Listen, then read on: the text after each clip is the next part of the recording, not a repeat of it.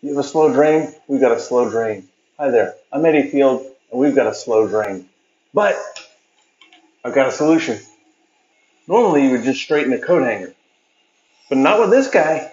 This guy will root in there. This is called a Zip-It. You can see the stoppers all the way up, but it is draining real slow. So we're going to move this, remove the stopper and snake the line. Let's dive in.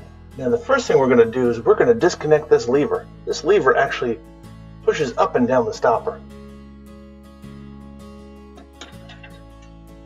Now we can unscrew the stopper and remove it. This rod actually fits inside the back of the stopper. Now we can remove the stopper. You may want to get rubber gloves or paper towel handy because this is the furry slimy part.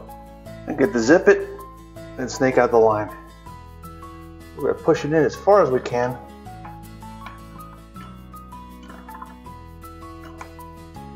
Give it a couple twists and let it grab some stuff.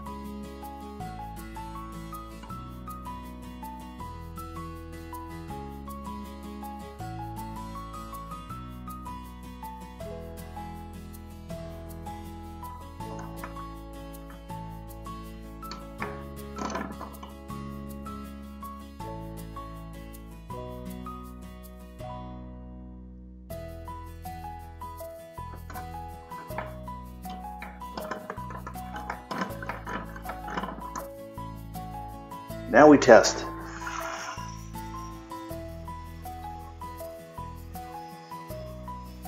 Running great. While you're at it, clean up the slimy on the back side of the stopper.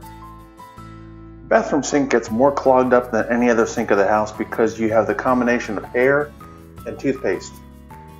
Now we're going to return the stopper with the hole facing the back.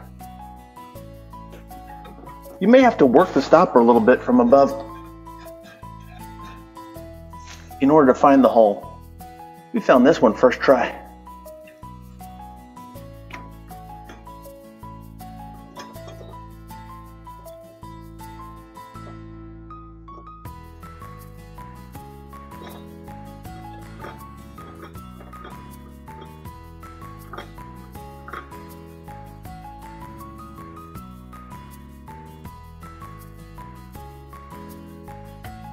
Adjust your height.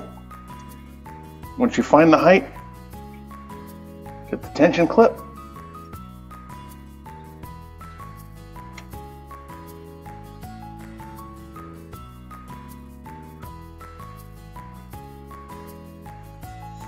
Like so. And test. Finally, clean off your Zip-It for the next use. That's tons better. Zip-It, Drain Snake. I'll have a link in the description. Not a paid endorsement. If you don't have one yet and you have a clog, go out and get one. If you don't have a clog and you don't have one, go out and get one for the next clog. I'm Eddie Field with Field Guide to DIY. Thanks for watching.